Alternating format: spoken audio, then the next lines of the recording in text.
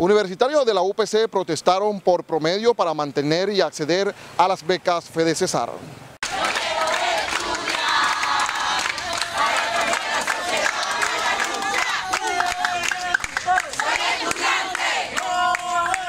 En las instalaciones de la gobernación del Cesar, en horas de la mañana de este lunes, protestaron estudiantes universitarios de la UPC por el promedio para acceder y mantener becas Fede Cesar. Ellos manifiestan que el promedio para acceder a las becas se estipuló superior a 3,9 y que anteriormente era de 3,7, lo que hace que muchos de ellos queden por fuera del grupo de becados.